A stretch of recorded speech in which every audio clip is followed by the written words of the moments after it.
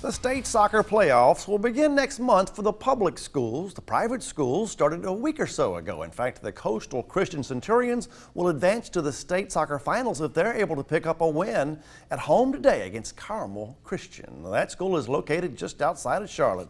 The team in blue had the lead for most of the second half. Coastal has to come up with a clutch goal.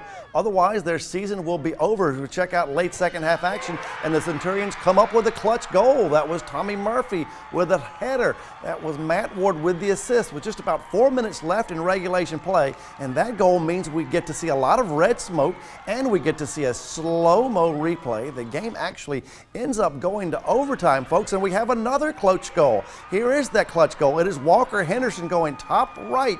He gets mobbed by his teammates. He gets mobbed by the Coastal Christian students, and in dramatic fashion, Coastal Christian wins 2 to 1 in overtime. Let's now check in with the winning head coach.